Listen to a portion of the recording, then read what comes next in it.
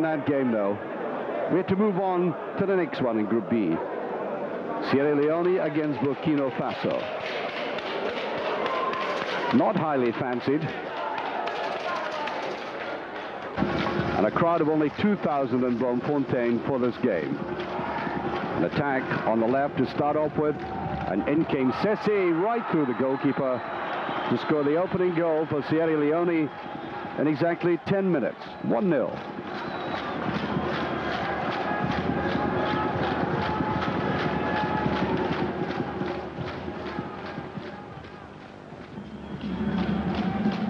Much more attacking and uh, Burkina Faso trying to fight their way back into the game. And the second goal coming up there, the equalizer by Ouédraogo with 20 minutes of the game remaining.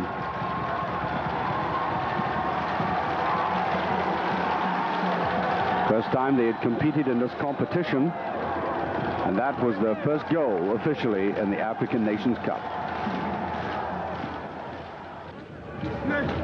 The joy was short-lived. At the other end, Sierra Leone on the attack. Ball off the post.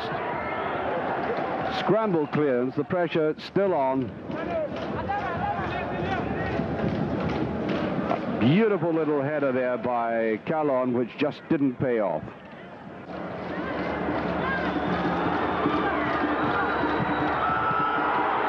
Misses at both ends. Tremendous shot there by Palenfo. And Ouattara should have put it away.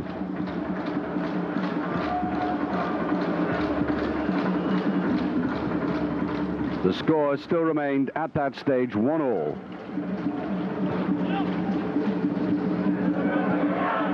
And just before the end, the ball placed in here, no cover.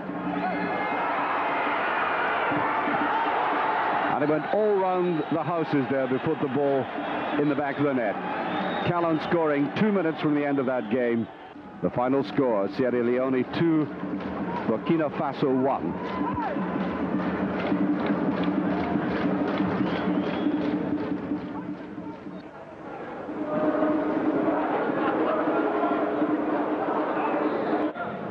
And they saw a game dominated clearly by Algeria. With the ball being played around by Lounici and Saib. Neat little cross and in came Meçabih just on half time to make it 1-0.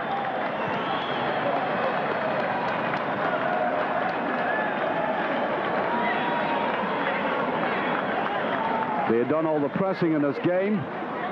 Rather shot shy in front of goal, but not this time. Into the second half, Sierra Leone had to come forward. They were caught out of the back far too often. And as the ball was played there, Meçabih got his second goal. El Wazani on the far side doing all the work for him.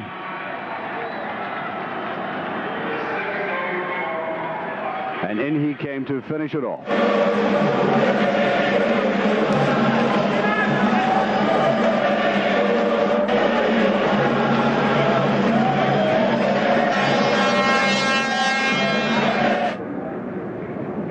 To Zambia against Sierra Leone. A game that almost wasn't played. The 24th of January, Bloemfontein, hit by a monsoon. Well, they worked very hard for the benefit of the 500 souls who turned up in this uh, downpour to see this game.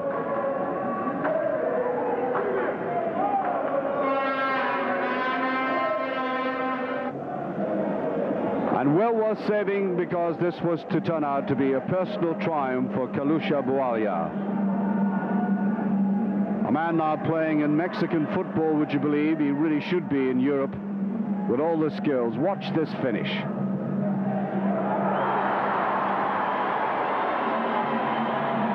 Well, there's an Englishman called Paul Gascoigne who does things like that.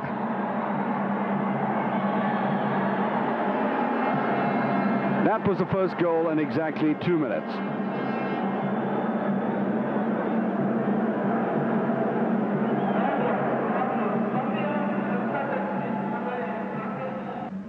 He was to show his skills in almost a slow motion replay of that first goal. There he is again, same spot, same foot, same net. Two goals in seven minutes.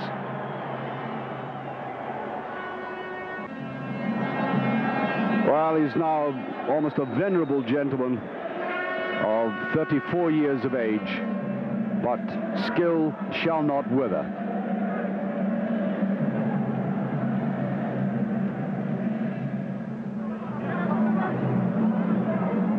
No way back now, and Zambia looking very, very good indeed. Consolidating their place with the bookies as one of the favorites. And 84 minutes gone, there was a hat trick. As I said, a great personal triumph for Kalusha Bwalya.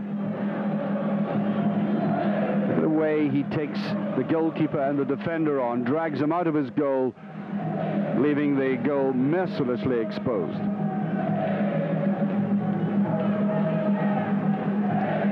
More to follow as Kenneth Malitoli, despite the fact that he was almost pulled back there, strode through to score the fourth goal. Sierra Leone had been ripped apart.